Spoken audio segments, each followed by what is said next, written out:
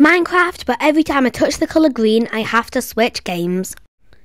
I set off by jumping off this cliff and then onto the house, but then I realised that I touched the colour green. Then I moved on to Wobbly Life, where I jumped down to the normal spot and got a plane. I was really close to touching green, but I barely avoided it. Then later on I touched green. Then I moved on to Titanfall, where I managed to get a few kills and then I needed to reload. I switched over to my pistol and then killed this guy and this guy. There was two your players here and then they just killed me, but I spawned on green.